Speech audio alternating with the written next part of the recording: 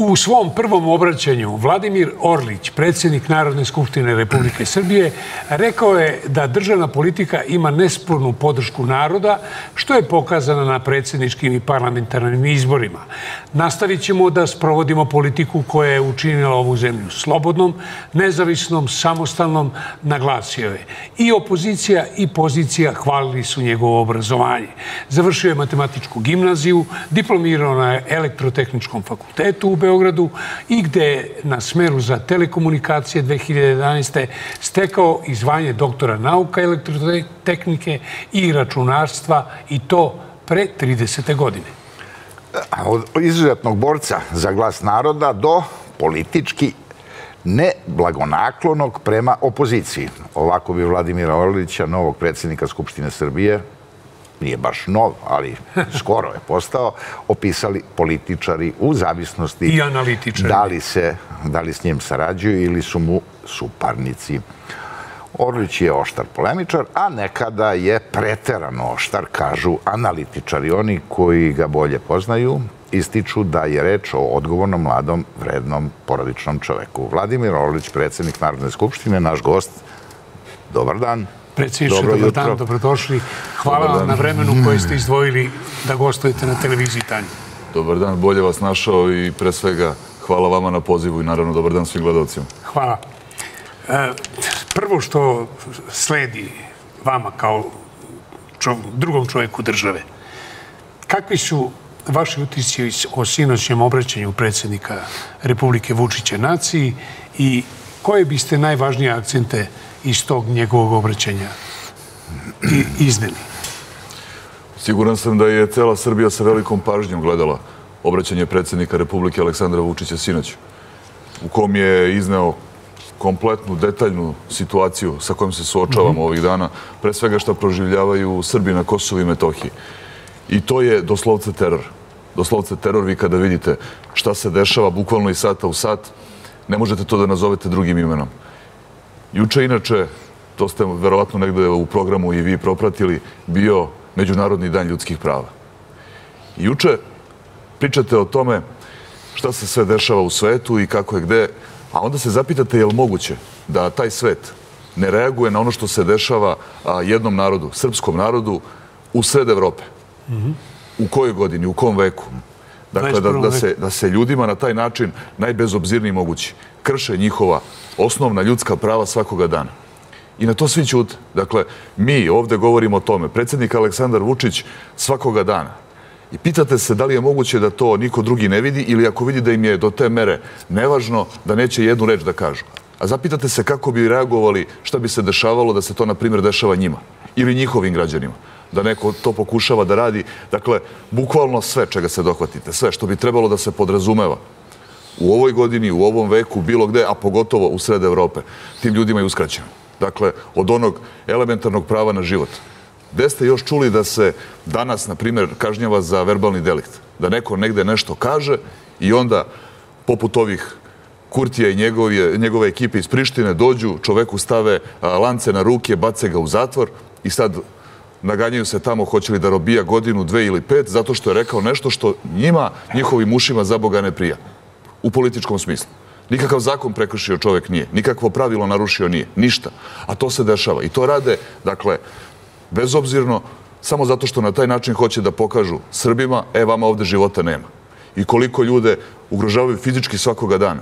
Vi imate upade, rosu, što je ne samo protiv svih dogovora koji su upravljeni tokom ovog mučenog dijaloga koji traje tako toliko dugo koliko traje, ide kako već ide. Ne ide nikako. Dakle, to je protiv svih elementarnih prava, ljudskih prava, ako hoćete da upadaju sa dugim cevima, zastrašuju ljude, maltretiraju malu decu, upadaju u vrtiće. To se nije znalo, izvijem se što vas prekidam, dok, dok predsjednik nije pokazao sinoć one slike. Pokazao je, dakle, šta rade upravo ovih dana, da, ne bi ljude lagali, pošto lažu sa pričama, ne, ne dešava se ništa strašno i ne, nema tu nikakvih ni uh, specijalnih uh, jedinica, ni nikakvih dugih cevi, nema oklopnih transportera, onda vidite na fotografijama koje pokaže predsjednik Srbije kako svega toga ima. Pa I te kako ima. I ne da ima dugih cevi, nego ima onih koji sve vreme drže prst na obaraču, dok ljudi maltretiraju, upadaju im u porodične kuće, traže tamo da pretresaju prostorije bez ikakvog obrazloženja, uništavaju ljudima i porodični posao od koga žive,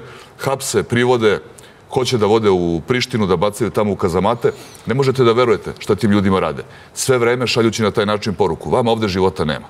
I što pre, vi lepo svi odavde da odete i da vidite kako će svi problemi da prestanu. Dakle, to je ono što Kurti radi sve vreme. Pokušava da protera u potpunosti Srbe sa Kosova i Metohije. I svaki potez koji vuče, potezi u tom smeru. Zbog toga su ljudima zabranjivali i da izlaze na izbore, zbog toga su ljudima zabranjivali da izađu i na referendum. Kada smo se izjašnjavali u našem ustavu, zabranjuju im kretanje, pretim oduzimanjem imovine, pretim drakonskim kaznama. Sve vreme ih fizički maltretiraju, prebijaju doslovce ljude. I sada vidite iz dana u dan samo novu krizu prave. I ko se sa tim bori? Ko pokušava u tom potpunom haosu i potpunom bezumlju da zadrži na neki način mir, jer je, jer je, jer je ugrožen svakim od, svakim od ovih poteza o kojima govorimo sada. Naravno, naša država i predsjednik Vučić na prvom mestu koji pokušava da u tom dijalogu nešto za nas napravi u doslovce nemogućim uslovima. Ali nemogućim. Vi kada preko puta sebe imate nekoga ko otvoreno govori, kao što Kurti kaže, ne priznajem ništa, neću ništa da uradim. Zajednica srpskih opština, pričajte vi o tome još narednih deset pa puta deset godina, ja to neću da uradim nikada. Kako možete da kažete da dijalog neki vodite? E, u takvim nemogućim uslovima bori se. Predsjednik Srbije govori o tome otvoreno i kaže celom svetu. Nemojte više da se gađamo vašim licemernim frazama. Nema nikakve dve strane koje vi treba da pozivate na bilo šta. Postoji Kurti, postoji Priština koja sa svoje strane neće da ispuni svoje obaveze. Naprotiv, pokušavaju da naprave situaciju sve gorom svakoga dana, uništavaju srpski narod na Kosovo i Metohiji njih da ubedite da urade šta treba i da se ponašaju i ole racionalno ako može, pa onda ima smisla da govorimo o bilo čemu. I samo ta strana pravi problem sve vreme, a mi sa druge strane pokušavamo da sačuvamo taj mir i stabilnost neku za sve. Dakle, ne samo za Srbe, nego i za Albanci i za sve druge, jer ovo što Kurti radi bukvalno vodi ka tome da napravi pakao i za Srbi i za Albance, ali i za sve koji ovde žive. E, ali moram da vas pitam, politička borba je politička borba. Dakle, legitimno je napustiti parlament, napustiti vladu, što su uradili poslanici srpske liste u jednom trenutku. Dati ostavku, eh, dati eh, odbornici u lokalnim opštinama na severu Kosovo da daju ostavke, gradonačelnici i tako dalje, sve to politika. Ali nije li Kurti otvoren prostor činjenicom da je šestotina policajaca Srba sa severa Kosova dalo otkaz i faktički ostavilo četiri opštine bez srpske policije. To što Kurti hoće da protumači kao otvoren prostor za sebe, to smo videli. Dakle, odmah čim su politički predstavnici Srba na Kosovo i Metohiji, inače potpuno opravdano, u potpunosti opravdano, rekli nećemo ovome da učestvujemo jer vi brislavski sporazum ne poštujete. Deset godina mi sporazum poštujemo, deset godina mi radimo sve što je do nas, a deset godina vi nećete tu jednu jedinu stvar koja je bila vaša obaveza. Najveća obaveza, obaveza koja se odnosi na bezmalo pola tog sporazuma, a to je zajednica srpskih opština. Vi to nećete da uradite. Nije to sporno, e, političari. Šta je onda, šta je onda uradio ali Kurti? Policajci. Ne, šta je uradio Kurti? Dakle, pričamo o prostoru. Njega zanima pre svega ovaj politički.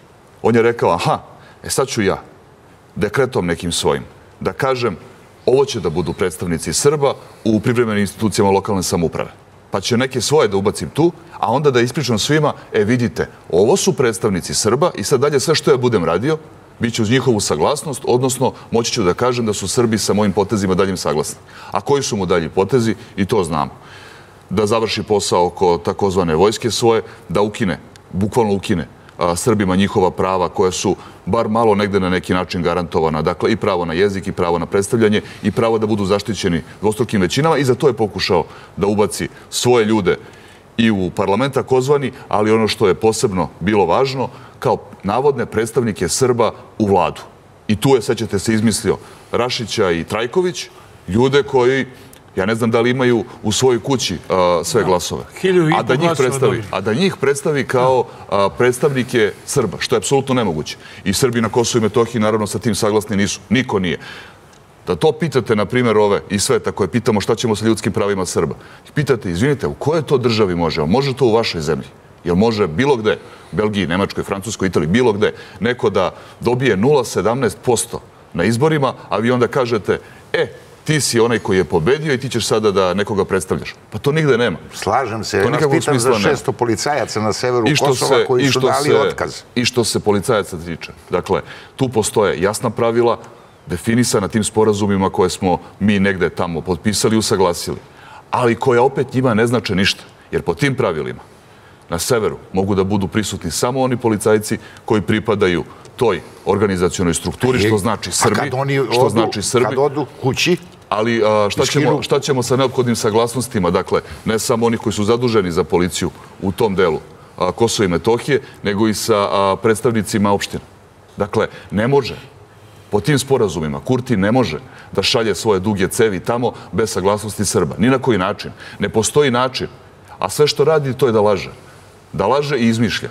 Ali da ima šesto policajaca ne bi ih slao. A, jel nije slao? Pa nego šta nego je slao? Znači on to radi sve vreme. On to radi sve vreme. Šalje Rosu kako mu se prohte i maltretira Srbe i krši sve sporazume i baš njega briga. Da li je srpskih policajaca šest ili šesto? on krši sve sporazume. I to hoću da vam kažem, da mi ne ulazimo u igru natezanja šta bi bilo ako bismo stvari postavili ovako ili onako. Kurti svakako, svakako neće da poštoje ono što je njegova obaveza i svakako ide na to da problem napravi i da život e, Srbima na Kosovo i Metohiji zagorča. Dakle, trenutno ne postoji način, ne postoji scenario da vi kažete, e, ajde sad ćemo da idemo ovako pa će to nečemu da vodi. Dakle, to je potpuno bezumlje, potpuno iracionalno ponašanje. I onda kad vidite sa čim se suočava Aleksandar Vučić, pokušavajući da taj dijalog vodi, jasno on je zašto kažem da su to potpuno nemogući uslovi. I ono što bi najvažnije bilo, aj malo da dođe do glave onima koji sve to gledaju sa strane i koji mogu bilo kakav uticaj na, na Kurtija i na Prištinu da izvrše. Dozovite ih pameti. Dozovite ih pameti jer ovo što sada prave, to je bukvalno užas. I svakim svojim narednim potezom oni taj užas čine realnim. Videli ste da su ljude ponovo počeli na pravdi Boga da hapse, samo zato što hoće i na taj način dodatno da maltretiraju i njih i njihove porodice, ali i sve ostale. Ne mogu više da izmisle ništa. Kad nekoga hoće da baca u zatvor, da kažu zašto je kriv. Pa se sada, kao ona najgora vremena, kad je taj verbalni delikt bio negde moguća stvar. Milorado. Dovode dva svedoka, izmišljaju, jeli? Ne, ne, a to pitate sad ovo iz Evrope. Ne, kaže Milorado, vidite, to provocira me malo. Znam da, da vas dvojice imate tu vrstu pa ovaj, razmene mišljenja da. na svaku temu. Vi ste rekli u ona da, da. najgora vremena. E, a pitate sad recimo ove iz Evrope. Gde to ima? Da neko dovede ovaj dvojicu koji će da slažu bilo šta bez dokaza jednog i da na osnovu toga čoveka osudite. Nema. Toga nema nigde. Zašto je Vučić sinoć e, pomenuo 17. Rekao je 17. da, da, očekujemo najveće pritiske od 17. Očekujemo dolaski u Beograd. Dolaski u Beograd, dakle, kod predsjednika Srbije će dolaziti ponovo različiti predstavnici ovih velikih i moćnih država da saopšte svoje viđenje, svoje predloge, ali šta je za nas najvažnije? Za nas je najvažnije da mi imamo potpuno jasnu svoju državnu politiku. Onu koju, naravno, lično predvodi predsjednik Aleksandar Vučić i koja je dobila nedvosmislenu, snažnu podršku naroda. Čuo sam to u vašoj najavi. Jeste tih 2 miliona 250 hiljada glasova, direktnih glasova ljudi u ovoj zemlji za predsjednika Srbije. To je znak šta Srbija misli, šta Srbija osjeća šta je narodima, šta je narodu i na srcu, ali šta ljudi očekuju od svoje države. Tu politiku očekuju. I kada vam kaže Aleksandar Vučić, tu ćemo politiku da vodimo, to znači čuvat ćemo naravno mir i stabilnost, ali to naravno znači i čuvat ćemo bezbednost Srba na Kosovo i Metohiji i nećemo da dozvolimo da nas plašenjem i vikama nateraju da mi uradimo nešto protiv sebe, nego ćemo da se borimo mudre, mudro, hladne glave, postojano, to znači da ljudi to podržavaju. Izjasnili su se, rekli su. Dakle, tu ćemo politiku da vodimo i dalje i uz sve pritiske koji su zaista teški, najgori ikada i verovatno će posle 17. da budu još gori i još teži, mi ćemo sigurno tu svoju politiku da vodimo. Predsednik Srbije na prvo mesto, ali da to bude potpuno jasna poruka svima. Svi u našoj zemlji koji državu predstavljaju na bilo koji način, i ubedljiva većina, ubedljiva većina građana ove zemlje tu politiku zastupa i naravno svog predsjednika u toj politici podržava. Tako da bit će sigurno teško, ali borit ćemo se jer mi nemamo što drugo da radimo. Nemamo opciju sem da se borimo. Predsjednik Vučić je e, ostaće u istoriji zapisan kao prvi predsjednik koji je praktično zatražio dolazak e, snaga kvora da zaštiti i Srbe za... Da, Ne, ne, naš... Mi ćemo mehanizam da naši, pokrenemo za ne naše. snaga KFOR-a, nego Da. e, srpske, snaga. srpske policajci vojnike. snaga da dođu prema rezoluciji 1244. Verujete li da će komandant Fro- FOR-a doneti pozitivnu odluku? Iako neki kažu, kao recimo rec- moj drug Ostojić, da po rezoluciji 1244 on to može i ne mora. Pa čekaj, juče je predsjednik rekao da ne Pa očekuje. znam da ne očekuje. A ja ti ga pitam- nisi slušao. Ne, ja sam ga vrlo pažljivo Ima, slušao. imaš minus. Nema mi. Ovaj, a, rekao je, rekao je predsjednik Srbije da nije realno da će oni to da prihvate. I da ono što mi možemo da očekujemo to je da će da traže bezbroj nekih različitih izgovora, a zašto to neće da urade i da nam objašnjavaju kako to nije neophodno i da oni drže situaciju pod kontrolom i sve što može da vam padne na pamet, sigurno će sve to da kažu i još puta dva. A čekajte, a zašto mi onda to radimo ako nije realno? Zato što na to imamo pravo. Zato što to tamo piše, u toj rezoluciji piše da mi imamo pravo da se vrati do hiljadu a, naših pripadnika vojnog i policijskog osoblja. Dobro. I mi ćemo to da tražimo. I tamo, kada pogledate jezik i čitaju to precizno, i u originalu na engleskom jeziku Jest, i, jest. i u prevodu na srpski, da bi naši ljudi razumeli a, predsjednik Srbije. Formulacije su takve da nije pitanje da li imamo pravo. Nesporno imamo pravo, utvrđeno je da imamo. I ako bi se ponašali korektno i fair, jedino što bi mogli da urade to je da kažu u redu. Samo da vidimo kada, na koji način. Ali čim treba da se on izjasne sa svoje strane bilo kako, onda očekujete da će a, tu ideju da sabotiraju. Za nas, je važno, za nas je, za nas je važno da mi a, pokažemo da smo na to spremni i da to hoćemo da uradimo i da ne može sutra niko da kaže da taj mehanizam nikada niko nije A ni pokušao da inače upotrebi. to neki iz opozicije prebacuju uh, To vlastima. prebacuju oni koji su bili na vlasti, a nikada im nije palo na pamet da ništa slično traže. Ne, ne, oni koji... koji? Pa svi. Ne, Ko nije bio na vlasti? Govorim ovima koji podržavaju vladu kad je u pitanju neuvođenja sankcija Rusiji na taj deo opozicije, mislim. Imate među njima... TZV patriotski. Imate među njima svega i Šta svačega. će ti te zove? Pa zato što oni su Imate među patriote. njima svega i svačega i uglavnom ovo sad što vi pričate, to služi za njihove međusobne obračune. Da jedni kažu da su najveći Rusi na svetu, drugi da kažu da su najveći E, pa ovi što, a, su, što zapadnjaci bi na glasali svetu. Putina, oni kažu A, a ti kad dođemo do državne politike, ni jedni, ni drugi, ni peti, niko neće a, državnu politiku da podrži. Jeste videli da smo bili u Skupštini Srbije, dolazio predsjednik Aleksandar Vučić da govori o Kosovo i Metohiji upravo. O toj temi upravo. I to zato što su oni tražili, svi zajedno, i ti levi i ti desni. I sve odgovorio. Jer se sećate nekoga od njih da je tokom te rasprave rekao u redu, mi hoćemo da podržimo ovo što država radi. Pa makar simboličnu poruku da pošalje time što će da glasa za jedan izveštaj koji ne, nema spornog teksta, nema u njemu ničega što bi nekoga zabolelo ili mu smetalo ideološki ili ne znam kako, nego teksta koji kaže Srbija je kao država uradila to i to, podržala narod na ovaj ili onaj način, finansirala nešto. Dakle, da na taj način, podigavši ruku, kaže glasam za izveštaj da se vidi da postoji neka saglasnost oko nečega smo zajedno, na istoj smo strani mi ovoj zemlji. Niko od njih to nije hteo da uradi. Tako da ti što će da se reklamiraju kao ne znam kakve patriote. I to je A najobičnije licemerije. što ne tražite, što ne tražite, ne treba da pokažu, nisu pokazali nikad ništa. A ti su takođe bili na vlasti, da vas podsjetim. Jesu oni tražili? Nisu tražili nikada. I sve ovo što pričaju, sad kažu okupirano Kosovo, pa ih pitaš a što niste proglasili Jesu zakon o okupaciji. Nisu oslobodili. Dakle, i ti danas, najekstremniji levi i najekstremniji desni, bili na vlasti, to bili zajedno. Zajedno bili na vlasti ljudi. Da se oko toga razumemo. I šta su radili? Nikad ništa. Ali bukvalno nikad ništa. Ja sam skoro gledao to, našli su ljudi iz 2000. godine, jedna od predizbornih tačaka a, DOS. Znate šta je bilo? Integracija Kosova i Metohije. Tad su ljudima prodavali tu priču. I onda sad kad vidite ta ista lica ili oni koji su nasledili ta, li- ta ista lica, da pokušavaju 22 godine kasnije ljudima istu laž da prodaju po drugi put. Pa ne možete da verujete. Jer zaista misle da niko ništa ne zna i ne pamti. A zajedno bili na vlasti i ovi što kažu Kosovo je nezavisno i ovi što kažu aj puške da uzmemo. A naravno, kad kažu puške da uzmemo, ne misle na sebe nego misle neko drugi puške da uzme i neko drugi da gine. Nikada nisu razmišljali na taj način, jer da jesu drugačije bi se ponašali kad su bili vlast. Dakle, sve radili, samo da oteraju problem i muku što dalje od sebe. Nek se dešava tamo što god hoće, nek vršljaju, neka rasturaju srpski narod, koja je sudbina tih ljudi, šta im se dešava, baš ih je bilo briga, Do, dozvolili i 2004. i pogrom, dozvolili 2008. i ono proglašenje takozvane nezavisnosti, dozvolili onu bukvalno sramotu, bruku nacionalnu pred Međunarodnim sudom pravde i to ne samo dozvolili, nego i oni napravili, oni inicirali. Sve su to radili dok su zajedno bili na vlasti.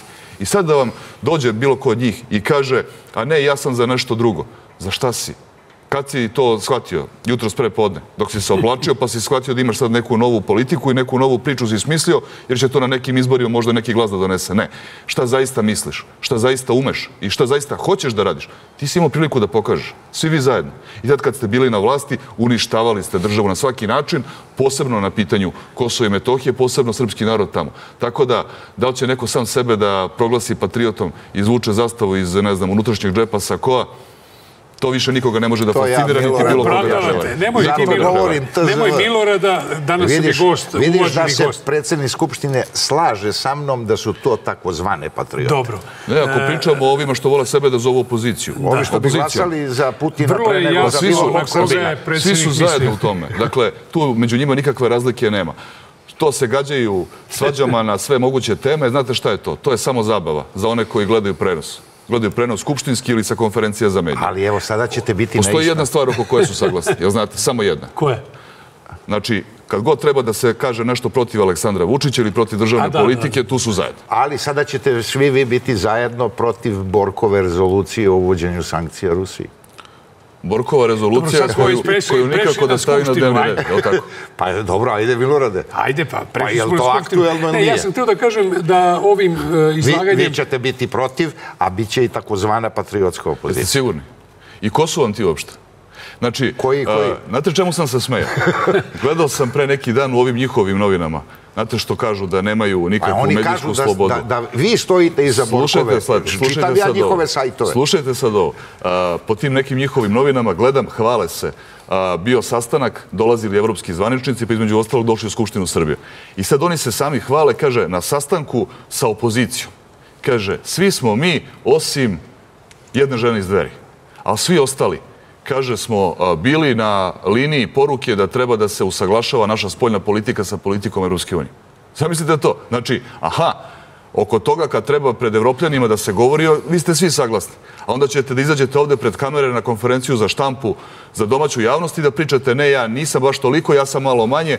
Ja sam protiv Borkove, tako Pa, ću pa, da kažem. vidite, pa jel vidite, ovaj, dakle, kakvo je to licemeri i kakva laž na svaku temu. To se- Ali bukvalno to na se svaku. zove politika. Bukvalno na svaku. Možda je važnije od tome, sa e, svim ovim što ste do sada rekli, pokazujete ono što smo i mi rekli u najavi, da ste vrlo oštar polemičar, što ja... A je li ovo počela polemika? Nisam Nije, nije, primetio. nije, ne, ne, nije Šta polemika, bilo? nego... Ajde da, e, hoću i da vas jel, pitam... Jel, nismo si, jel niste sigurni da li će Dozvoli. glasati? Da li će, Ako- kad će to da bude na dnevnom redu? Evo, Navalio neutralno na tu rezoluciju, važnije je za ovu zemlju da je juče usvojen taj budžet za narednu godinu. O tome Aj, sam teo da popričam. Jeste. Kako ocenjujete, kako ocenjujete, gospodine predsjedniče, e, e, amandmane opozicije na, koji su bili upućeni povodom tog budžeta?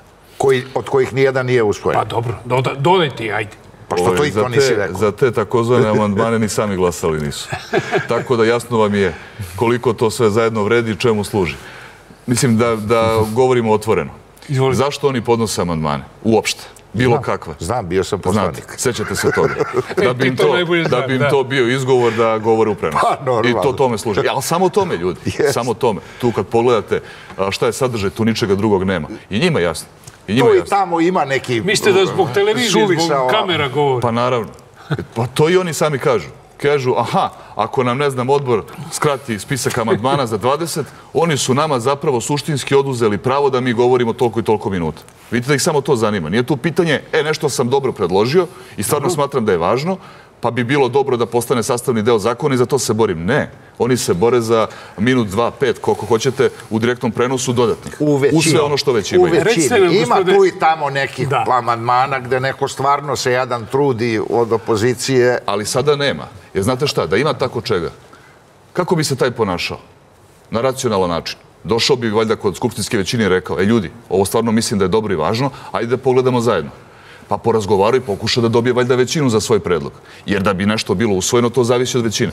Ako niko neće, čak ni da pokuša da se većinom razgovara, onda vam je jasno da on i ne želi, ne očekuje da nikakav predlog njegov uh, bude sastavni deo bilo kog zakona. Dakle, ne radi on to zbog toga, on to radi zbog prenosa. A budžet je naravno veoma važan, to je najvažniji zakon koji država donosi i ovaj naš, rekao bih, na ozbiljan način, odgovoran način, reflektuje državnu politiku koju vodimo. U svakom smislu. Dakle, tu se vidi i šta smo radili prethodnih godina i na ekonomskom planu, planu privrede Na osnovu toga mi možemo danas neke prihode da planiramo, pa onda odatle da finansiramo sve ono što su planovi, a vidite i koji su to planovi. Pa tu vidite, u tom budžetu se nalazi povećanje penzija koje je najavljeno već i jedna etapa već realizovana. Juče je već su penzioneri dobili, da. Počele isplate sa onim povećanjem novembarskim, tako je.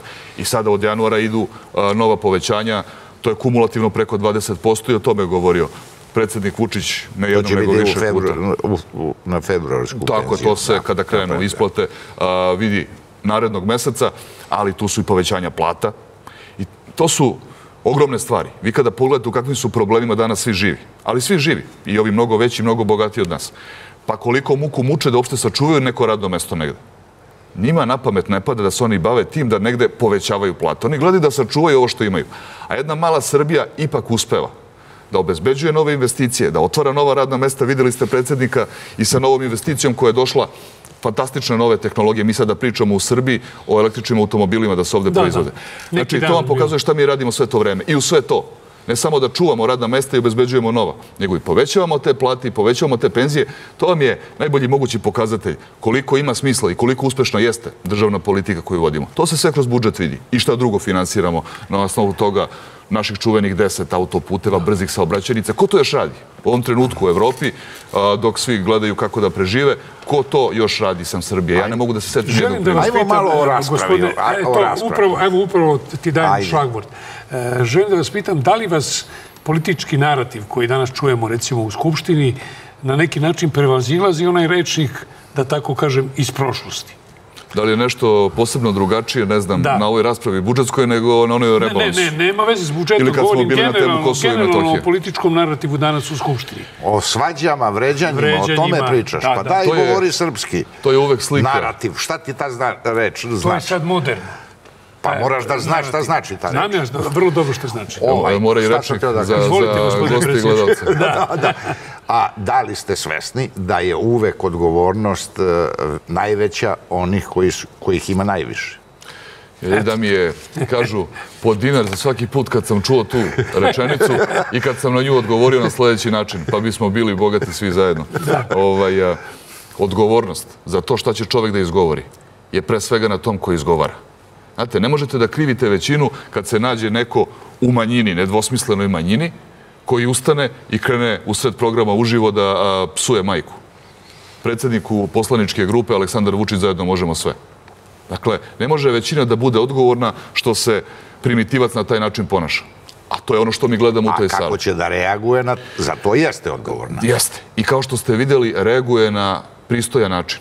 Ne tako što onda uključi mikrofon pa krene da mu uzvraća identično i da psuje njemu bilo šta. Ne. Nego tako što pokazuje da odgovornost za razliku od toga i takvih i njemu sličnih, a rekao sam vam već, svi koji sede tamo na toj strani, nikakvu etu tu suštinsku razliku ne vidim. Ni u zaista nekoj politici, niti u načinu ponašanja. Dakle, da može drugačije od toga. Pa neće da mu psuje ništa, nego će da mu stavi do znanja šta je država uradila, kakva je razlika između onoga što kao realan rezultat imamo danas u odnosu na njega i njegovo vreme. Pa ako će on zbog toga da bude kivan, nek bude koliko god hoće, to je njegov problem. Možda bude ljud samo na sebe, svoj nemar, svoju nesposobnost i što su nekada vreme ove zemlje i živote ovih ljudi trošili na to samo kako sebe da obezbede i sobstvene džepove kad su trebali o drugima da brinu. Ali tu svoju nervozu nek rešava sam sa sobom i najbolje bi bilo u sebi. Ništa besmislenije nema od toga da uključite mikrofon i da onda krenete da se ponašate kao ko čiješ. A recimo to gledamo sa te strane sali. To sve vreme, znate, počeo je ovaj saziv tako što su krenuli sa psovkama, uvredama i kada vidite bilo koji ministar da govori. Ono što dolazi nakon toga, Dobacivanja i čuda. Dobacivanja, ali do te mere neartikulisani zvuci da ne znam kako bih vam to opisao. Ne znam kako bih vam to opisao, da li postoje reči koje su za to već smišljene i napravljene. I onda zamolite jednom, peti, pedeseti put, ako može bez toga, vidite da ne može. Vi onda dignete ruke. Tako da, ko je u Narodnoj skupštini, to mu je sve jasno i mislim da se oko toga trenutno ljudi ne nerviraju, razumeli su. Tako je, kako je, nikad bolje biti neće što bi rekao Petković, di se nikad, nikad bolje biti neće, ti su ljudi takvi kakvi su. I to je prosto to. Narodni predstavnici. Gospodine predsjedniče, Možda vaši... je takav narod. E, Zorane, ako možda dozvoliš da postoji Nije još takav jedno, narod. Nije. još jedno Ima možda... možda nekih 2-3% ljudi koji tu vrstu histerije vole. Ali nema više od toga. Nisu ljudi, nije naš narod do te mere neozbiljan i neodgovoran da to voli, da Ali to diže podržava. gledanost. Ne znam nekada ovaj, da, li im, da li im više ide u prilog kad ih ljudi takve vide ili bi im bolje bilo da ih takve ne vide. Pa recite nam, gospodine predsjedniče, šta pričaju poslanici kad, kad znaju da, recimo, nema, nema direktnu prenos? Kako se ponašaju? Da. Pa postoji značajna razlika između toga kada ovaj, je kamera uključena i Dobro. kada nije. Dakle, da su neki histerični i sa njom i bez nje i to je također tačno. Ali postoji nemali broj njih Koji ispada kao re, reality neki. sede mirno onog momenta kada vide tamo onu crvenu lampicu da je Dobro. uključena, odmah skaču i počinju da prete. Te, mi ćemo Vučiću ovo, mi ćemo ono levo desno, isključi se lampica, sednu nazad i onda prelistaju nešto, odu na ručak. I vidite da to samo tome služi. Jer ti ljudi nisu stanju da ponude ništa drugo. Nisu zbog toga ni došli. Oni su došli za to da uhvate kameru, da budu u kadru, da budu negde vez dana na ovim njihovim televizijama, da dobiju naslovnu stranu u njihovim novinama i to je to. To je sve. Dobro, ali da budemo iskreni, šta se dešava kada i predstavnici vla- vlasti nekad, da tako kažem, pređu granicu ili upotrebe slične? slične Vređaju, vređaju. vređaju. To što znači, jel, to isto važi ono što ste rekli, svako je odgovoran za svoje... Uvek to važi, to važi za sve. I ja kad govorim o tome i kad govorim o većini, ja naravno a, govorim u množini, uključujući sebe. Sedao sam ja u tim klupama i znam kako je nekada U teško, tri neizdrživo... mandata? Tri Pa evo, od mandata. 2014. Da, tri mandata. izbrojite koliko je. A, Dakle, nekada je neizdrživo čoveku da sluša najodvratnije moguće stvari, najgore moguće stvari, a da ne reaguje. Morate da reagujete. E, onda je uvek pitanje procena na koji ćete način to da uradite. Ali ono što vam odgovorno kažem, većina parlamentarna nikada nije a, primenjivala nesrazmernu silu u raspravi. Nikada. Onog momenta kada pretaraju u uvredama, u odvratnim rečima, u pretnjama, dobiju odgovor. I bude to nekada još tar odgovor. Da, to je tačno. Ali a, nikada niste videli da se neko ponaša lepo i pristojno, pa ga onda, ne znam, zli naprednjaci ili ko već a, napao na pravdi Boga. Ne. To se ne dešava. Dakle, ako se ponašate na pristojan način, to sam ja rekao svima. Vi to ne dozvoljavate, Očekujte, očekujte, očekujte da ćete dobijete odgovor dobar i još bolji od onoga što ste zaslužili. Ali ako mislite da ćete pretnjama, histerijom, bukvalno neartikulisanom vikom ili time što ćete, ne znam, nekome da kažete psujem ti majko, a posle ću da te prebijem, da fascinirate ljude i onda da se većina pred vama povuče zato što ste takvi, to je nemoguća misija. To se nikad neće dogoditi. Nikada, da vam bude jasno. Dakle, na taj način vi da bukvalno pogazite volju narodu ne možete. Jer kad bi se povlačila većina pred takvim ponašanjem, to bi bilo gaženje narodne volje. Nije narod glasao za to. On je glasao za to da većina provodi onu politiku koja je dobila podršku na izborima. Koja je politika dobila podršku na izborima? Evo da se vratimo na početak. Pogledajte 2 miliona 250 hiljada glasova u prvom krugu za Aleksandra Vučića. To vam znači tu politiku koju on predvodi. Što znači tu politiku i kroz uh, izborne liste koje su se kandidovale za naš nacionalni parlament i koje su rekle da tu politiku uh, podržavaju sledi, da će sutra da je provode. Tako da neće sigurno da dozvoli Skupština da histerična manjina, agresivna, koliko god bila glasna, ubedljiva je manjina, da ona gazi uh, tu izbornu volju. Vaši politički suparnici, gospodine predsjedniče, uh, dozvolite mi, često nemaju dobro mišljenje zbog neke retorike koju vi birate u duelima u skupštinskim e, obraćanjima. To sam vam rekao. Uvek je srazmerno onome čemu odgovarate. Uvek tako. Dobro? E sad, što se njima ne dopada odgovor zato što ih ostavlja a, bez daljeg teksta, to je druga stvar. Ali ponovo isto pitanje, odnosno ista vrsta problema. Tu su onda nezadovoljni sobom. Ako nemaju šta da zastupaju, ako nemaju argument, nije ni trebalo da ulaze u polemiku bilo kakvu, a nemaju i ne mogu ni da imaju. Jer znate šta? Ajde, uzmite temu bilo koju. Ako hoćete da se priča samo strogo, ozbiljno, znate, onim dosadnim Da, rečnikom da, da, koji govori samo o rezultatima. Aj dajte jednu jedinu oblast gde bi oni rezultatima mogli da pariraju državnoj politici. Toga nema. Nema ljudi. Hoćemo o ekonomiji. Da, vi, ima, vi imate dokaze, govorite o dokazima. Na koju da. temu da pričaju? Pričamo o ekonomiji. Oni koji su ostavili pola miliona ljudi bez posla za vreme jednog jedinog mandata jedne vlade. Pola miliona Ali radnih sad mesta vi je isto izgubili. radite što su i oni radili. Ko je? Oni, pa, Pa oni deset godina nisu na vlasti, ako mislite na one koji su bili pre... A oni su Pričamo o deset tome da godina poredimo pričali rezultate. o? Miloševiću. Ne, ne, ne, samo Poredimo pričamo o tome da poredimo rezultate. Ja sad to je poredim rezultate. Ja kažem, hoćete da pričamo suvoparnim podacima. Ok, šta je vaš rezultat? znam, ali Vaš rezultat je pola miliona izgubljenih radnih mesta, ali tako? U, u, u, I šta treba da poredimo u s tim? Titovom sistemu učili smo u školi sve u odnosu na Jel vi 39. znate, godinu, kako je bilo pre rata. neki njihov rezultat uh, od prošle godine? Titovo vreme. Znate neki? Njihov rezultat od prošle godine da uzmemo njega? Pa šta od, od- Nema, nema. Od prošle E, godine. Tako je, nema. Znači, A uzimamo oni su njihov opozicija, rezultat. ne mogu da imaju je. rezultat. Znači, uzimamo njihov rezultat koji imaju. Je li tako? Pa kako opozicija? Tad kad su ga imali, tad kad su ga imali, kad su bili vlast, nisu bili opozicija, taj rezultat uzimamo. Sa tim ćemo da Tad su poredimo. izgubili. Izgubili, tako Dobro, je. i- Izgubili sa pravom, jer, na primjer, tih pola miliona radnih mesta izgubili. Ali to je njihov rezultat, kad god je bio, je li tako? Saglasni ste. Šta je rezultat današnje politike? Da ga uzmemo na današnji dan ili pre godinu dana, ali taj rezultat poredimo sa njihovim. E, ovaj današnji kaže 440.000 novih radnih mesta, obezbeđeno u prethodnih To je nekoliko isto godina. kao da, samo. tit, da Titova država se poredi sa kraljevinom. To smo učili. Kako misliš da je to? Jeste poredili vi to? Pa jeste, smo imali u školi, proizvodimo toliko ovoga žitarica, a 39. toliko, pa svi se po, pozivaju na neku davnu Znate sa prošlost. čim se mi danas takmičimo? Sa ta, tim takvima više ne, odavno ne. Mi se sada takmičimo sa sobstvenim najboljim rezultatima. E, dobro. Godinama već, iz godine u godinu. I ako vidite na čemu insistira Aleksandar Vučić, kad slušate to malo pažljivije, insistira na tome da uvek moramo da budemo pre svega bolji od sobstvenih rezultata, naših najboljih rezultata do sada.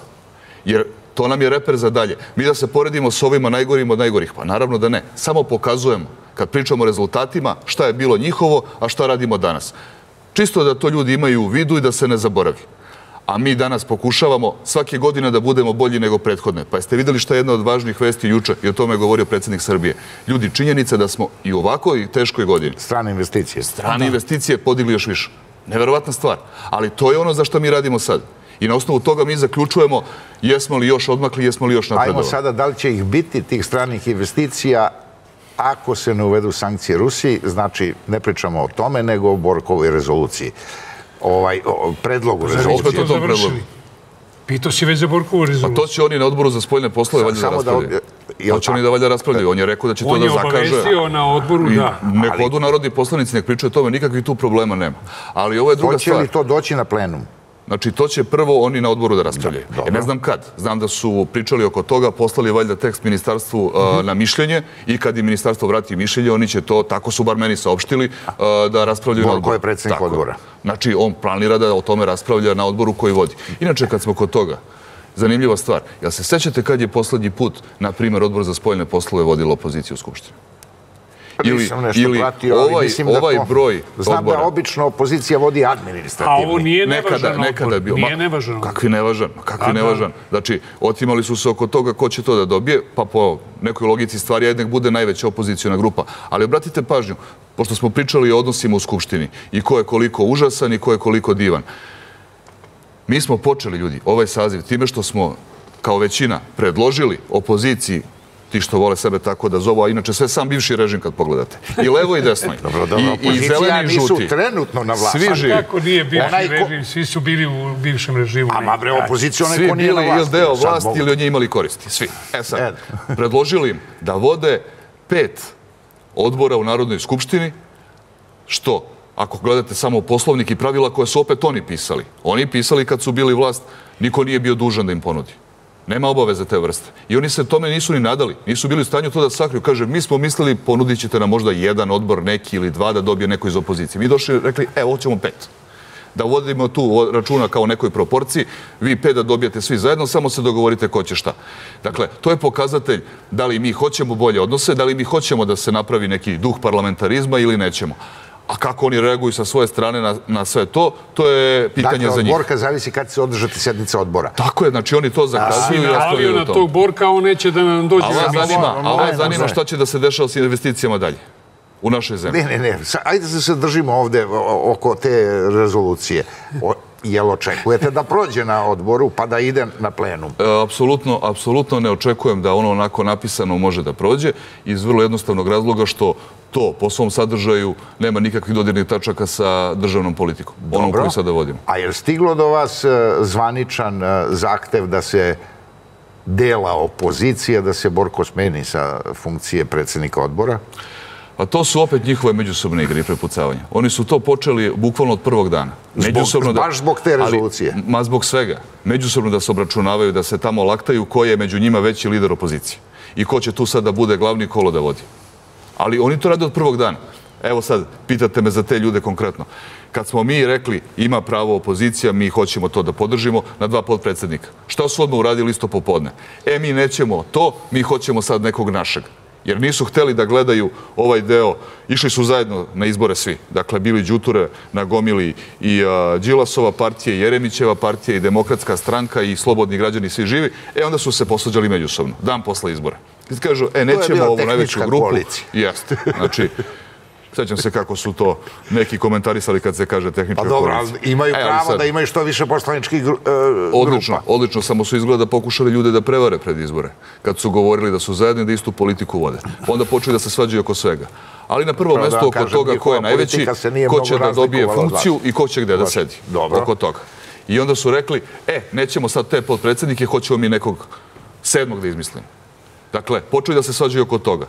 Dan nakon toga, to se pretvorilo u svađu kome pripada prvo sedište u onom sektoru gde sedi opozicija. Jer tu valjda sedi lider. Pa se svađali međusobno, jedne druge psovali. Jeste vidjeli, nismo mogli da počnemo sednicu o Kosovo i Metohiji. Vidjeli, vidjeli. Znači, e, nije stiglo e, tog do vas znači, da se smenjuje Borko. Te njihove međusobne svađe i prepucavanje. Opet on sa Borkom. Te njihove svađe i prepucavanje. Pazi, više smo pričali o Borku nego o nekim važnim pitanjima. To zanima samo njih. Da li si ti svestan da je tu predložena... Svega, svega sam svestan. A gospodin Orlić priča o stranim investicijama. Tako je. A nekako e, možda je nategnuto, ima jedno veze s drugim. Ima. Aha, ima. Želim da, želim da pitam gospodina predsjednika... Pri kraju smo. E, da pitam Samo da pitam kratko. Evo, ne znam. Jel se planira... Evo, samo nešto. Svako jutro ovako ili... U svako bitno jutro, gospodine predsjedniče. Bitno je. Od, zbog stranih investicija. Da pitam koliko stranih investicija. Pa to neka kažu gledalci. Zbog stranih investicija, radnih mesta, e, prestanka odlaska mladih iz zemlje, bitno je ono što je potpisano u Berlinu ona tri sporazuma. Oni moraju da se ratifikuju. Što im je Kurti upropastio istog dana. Jeste, jeste. Izašao pred kamere i krenuo da priča gluposti i da neće nikad zajednicu srpskih opština i upropastio i vesti i sve. Kada će ti sporazumi da budu ratifikovani u Skupštini?